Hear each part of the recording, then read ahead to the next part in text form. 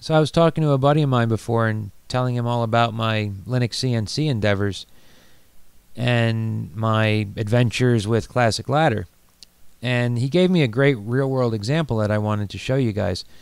He was telling me that he had to build a custom machine for a customer one time that utilized two deadman buttons that were timed to one another where if you pressed one button you had a half a second to press the other button or else the output wouldn't fire so think of it as a um, some kind of press or what or, what have you. If you have your hand in a press and you activate it that's a safety concern. You can lose your hand. So a lot of industrial machines a lot of industrial machines uh, in the in the stamping industry and anything that presses down, they have two paddles that you have to press simultaneously to activate this press to get to verify that your hands are out of the way. So I said, what a great example to show you guys. So to get right into it, I've got my Linux CNC fired up. I'll go to my HAL configuration. I'll go to my classic ladder.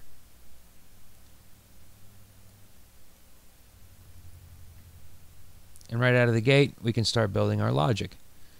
So I'll go in and I'll create two circuits, one for each button.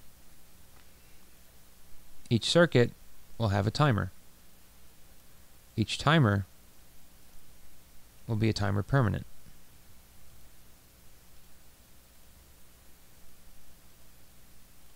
From there, we'll set our inputs. We'll use input 0 and input 1. I'll have two outputs, but each output is going to be a B output. So B0, oh, in this case B1, B0. Those two circuits will form an AND statement underneath of B0 and B1. And that will latch output Q0.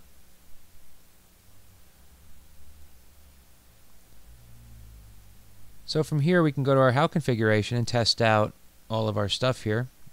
I'm going to use my PlayStation controller to simulate the two dead man switches and then after that, what we'll do is we have this latching output, which will turn a relay on. It will go through what it needs to do. In this case, run a hydraulic solenoid that will press down, return, and on return, we'll have the return stroke tied to a proximity sensor at the top that when it reaches its home position, it will turn off the latched output. So to start off, we could do a net button 1 classic ladder dot zero dot in dash zero zero and we'll tie that to input dot zero dot button dash a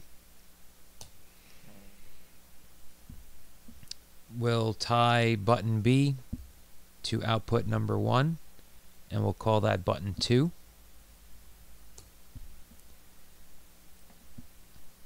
And we can test those out. We can see that they turn on. The timers I'll set to 100 milliseconds with a preset time of 5. So that gives us 500 milliseconds on timer 0 and timer 1.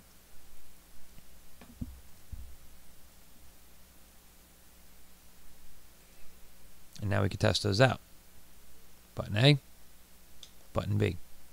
We'll see underneath we have our latching internal, or we have our internal relays latching for those half a second on each one. If we were to press both of them, we would latch output Q0. But once the set output is enabled, if we go to our watch list, we go to classic ladder, 0, and we scroll down to our output 0, 0, we'll see that it's currently in the true state. We'll add input 0, input 1 to our watch list. And we'll add input 2 to our watch list because we're going to use input 2 as our home sensor.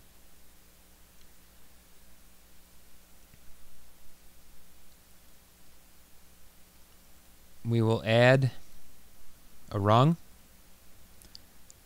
We'll create our reset circuit and we'll tie that to input 2. From there we can just net button 3 to classic ladder dot zero dot in dash 2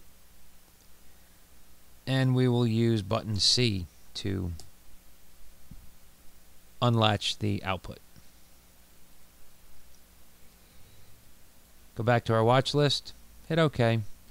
Now we can see our set and reset coils. We have our input 0, input 1, and input 2.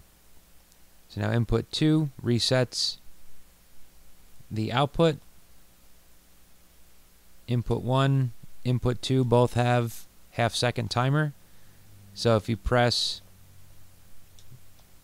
each button and you don't make the circuit in time, it won't fire the output. The machine returns back to its start position, fires the proximity sensor, and the output turns off. So I thought that this was a great little example to show everybody. Um, something real world that you can use, put in the back, uh, put in your back pocket in case you ever have to do something like this.